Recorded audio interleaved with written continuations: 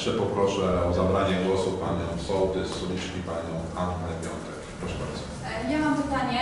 E, Pytanie, e, tutaj Pani mówiła, że każdy będzie musiał od nowa się zadeklarować.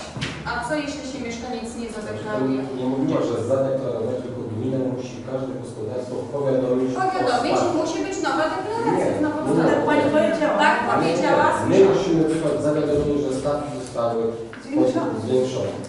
Na tym się to kończy. Tak? Czyli nie Deklaracja jest, deklaracja jest zmieniana na etapie, że na przykład w gospodarstwie nastąpi jakaś zmiana, wtedy Państwo przychodzicie i my składamy, składacie nową deklarację, której będzie zgłoszona zmiana.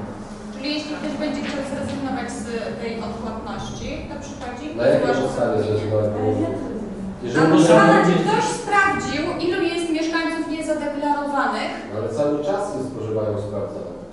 Ale Nieskutecznie. po to właśnie jest powołana funkcja sołtysa, żeby też nam zgłaszali takie informacje. Bo Proszę Pana, ja nie mogę Panu powiedzieć, czy ktoś się zgłosił, czy nie, bo ja nie mam wglądu w dokumenty, czy ta osoba jest zgłoszona. Ja wiem tylko, co mi powie ktoś. Ale ja nie mogę tego roznosić dalej, bo nie jestem pewna, czy tak, jest ja to prawdą. też powiem, jeżeli na przykład jest, y, rodzi się dziecko, tego nikt nie zgłasza. Jeżeli nastąpi śmierć, wszyscy zgłaszają. Powiem dlaczego? Bo wtedy zmieniają deklarację, co tam. A dzieci się rodzą, nikt nie zgłasza tego. Ale przecież każdy przyjeżdża do Urzędu Stanu Cywilnego po PESEL. Każde dziecko, które się urodziło, jest automatycznie ważne, no proszę Ale Pana. to jest od osób zamieszkałych, czyli zameldowanych. Nie możemy się opierać na informacjach z meldunku, że na przykład mamy 9200 osób zameldowanych i tym osobom naliczamy opłaty. Nie, to jest błąd. Z tych 9000 coś osób jeszcze sobie pracują poza granicami, są studenci, są yy, ale żołnierze.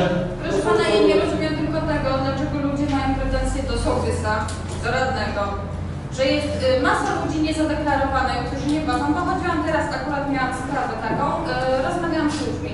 Jak usłyszeli, że znów chcecie im y, podnieść opłatę za śmieci, to wybuchło wielkie halo. Dlaczego oni tyle lat płacą, a ludzie nie płacą, nic nie mają, żadnych konsekwencji nie ponoszą. To jest bardzo niesprawiedliwe.